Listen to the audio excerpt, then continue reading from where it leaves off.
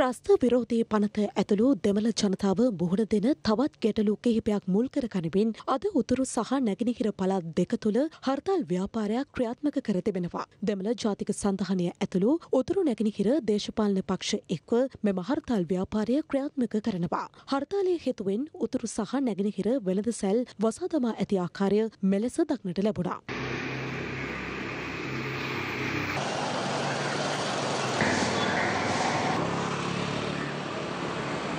උතුරු නැගෙනහිර පෞද්ගලික බස් රථ අද දින දහවනය වන්නේ නැති බවයි වාර්තා වනේ. පාසල් සාමාන්‍ය පරිදි විවෘත කර ඇති බවත් ඇතැම් දමිළ පාසල්වල දරුවන්ගේ පැමිණීමේ අඩුවක් ඇති බවයි අප වාර්තාකරුවන් පවසන්නේ.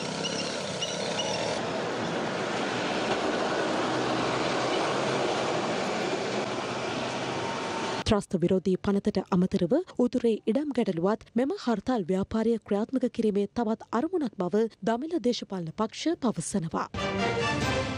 රටේ ලෝකෙ සිදුවන උණුසුම්පුව දැනගන්න සියත නිවස් YouTube චැනල් එක අදම සබස්ක්‍රයිබ් කරන්න.